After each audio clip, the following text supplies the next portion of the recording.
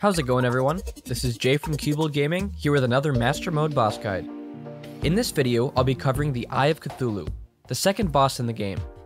Although he's normally pretty easy on Classic Mode, he has an insane dash attack on Master Mode that'll become almost impossible to avoid. So the first thing you're going to need to do is to get the best armor you can at this point.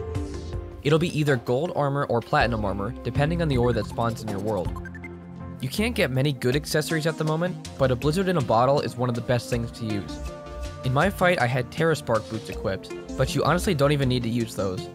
For a weapon, you want either a musket or the Undertaker, since both work extremely well. You can get these by blowing up Shadow Orbs or Crimson Hearts with bombs. One thing you do need though is a good grappling hook such as the Ruby Hook. This helps you use the arena to evade the eye's attacks. For this strategy to work, you need to set up an arena with wooden platforms a good distance apart. I like to make it 4 or 5 layers high, but you can add more to make it easier. So now what you need to do is build a house with a bed at the very edge of the arena. Let the nurse spawn in the house, and also have a good amount of money in your piggy bank for healing. All around the arena, place some campfires and maybe even some heart lanterns if you have extra heart crystals. During the fight, I didn't use any buffs just to show you how well this strategy works but using buffs will make it even easier.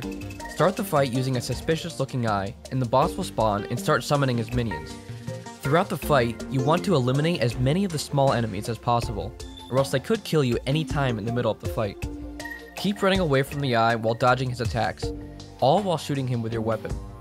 At the halfway point, he starts to go into his second phase, so it's a great opportunity to damage him while he spins. At this point, he'll start doing dash attacks, which you can avoid at first by using the grappling hook. After a little bit though, they become impossible to dodge, which is where the nurse comes in. When you get to about half health, spawn in the nurse's house and quickly heal. I like to do it at half health since you die so quickly on master mode. Keep doing this and dodging his attacks until you beat him. And once you do, you'll receive his amazing Shield of Cthulhu accessory and Master Mode trophy.